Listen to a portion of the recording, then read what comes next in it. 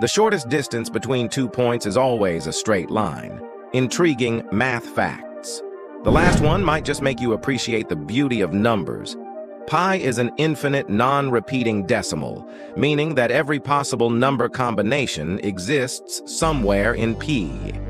Zero is the only number that cannot be represented by Roman numerals. The number four is the only number that has the same number of letters as its value.